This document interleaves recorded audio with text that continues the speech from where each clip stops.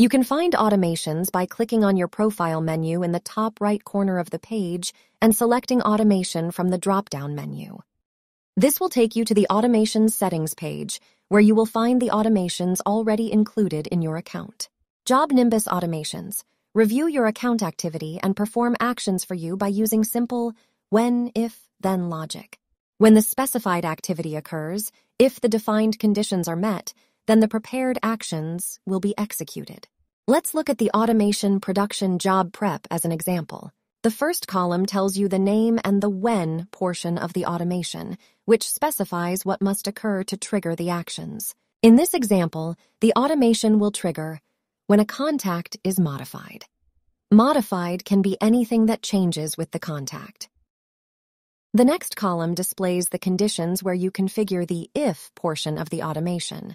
In other words, you are determining what needs to be true for the actions to take place. In this example, the automation will trigger if the contact status is equal to signed contract.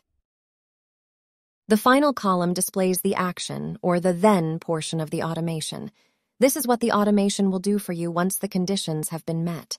In this example, tasks are created to pull permits, schedule labor, and order materials.